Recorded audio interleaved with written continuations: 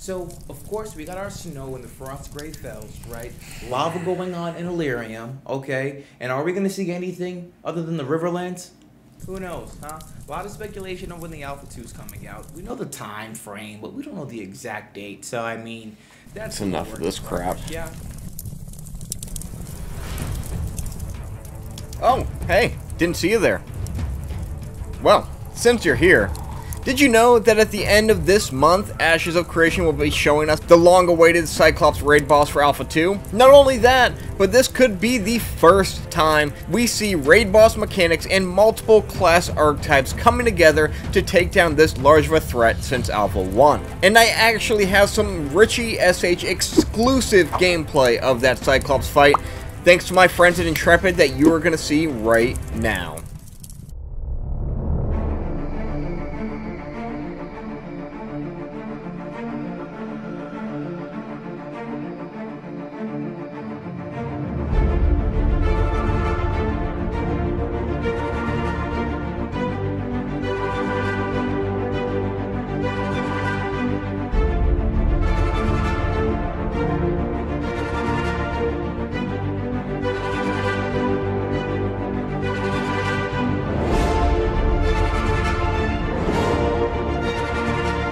Pew pew pew pew pew. Pew pew.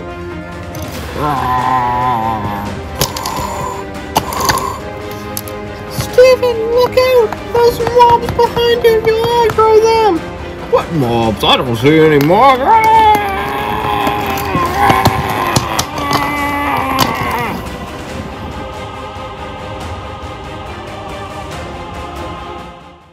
That was a bit of a mess. Hopefully Intrepid has time to clean that up before we hit the end of May. But with that footage you saw, well, it's exactly what we don't want to see from Intrepid this time around. With only three people taking down what is meant to be a raid boss, you know, 40 men and women coming together, holding their swords, and fighting off these guys, stabbing them in places, and all that good stuff. We really don't want to see Steven being the main tank either and just aggroing everything around, or even as a mage aggroing everything around. So hopefully this Cyclops is in an area where we can actually just focus on the Cyclops and not all the mobs surrounding it. We have seen a few live streams where it was just complete and utter chaos, and I'm hoping that this is not one of them. Which I mean, Intrepid has been seeming to take the feedback very well from the previous live streams, and the Mage Showcase last month that we got was incredible. It was the best archetype reveal they've done so far, so I have high hopes for this Cyclops reveal as well. With our first showing of that boss on what I speculate will be on May 26th, I want to see this guy as what it is actually meant to be. Raid bosses are meant to be taken down in large groups like I said, so hopefully Steven will recruit some of those PI testers to help him with this fight to minimize the use of cheat with invincibility, health buffs, and instant respawns. If they do that, that won't give us a very good look at the fight at all, and I really want to see how challenging these guys are meant to be. Obviously, there's going to be that whole scaling thing that Intrepid does later, but no cheats. I don't want to see cheats at all, even if it's half of a raid. If we saw 20 people instead of 40,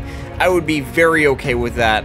I would even almost be kind of okay with an 8-man party to start and they scale it up later, but I want to see these classes working together. We have been leading up to this point with the tank, the cleric, the mage, the ranger, the fighter, and I want to see these guys coming together to take down a boss.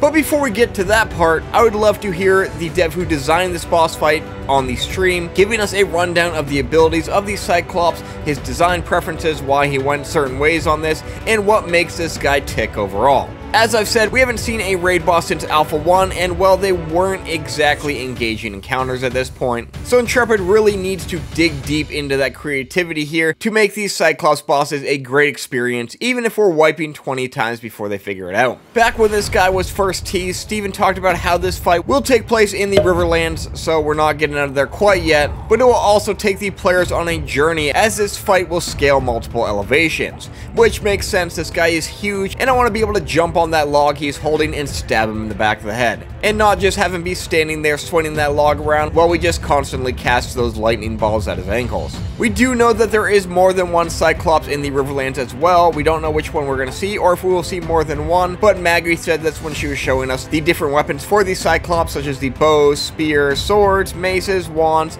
and I assume this giant tree as well. But if not, it'd be pretty cool to see him actually rip a tree out of the ground to attack a player in one of the phases of this fight. Otherwise, we really have no idea what Intrepid plans to share in regards to this boss. We could be holding these expectations way too high like we did for Carphin, where we all thought we were going to get a dungeon run, but it turns out we got a story arc overview instead, which was still pretty cool, but I want a raid boss fight.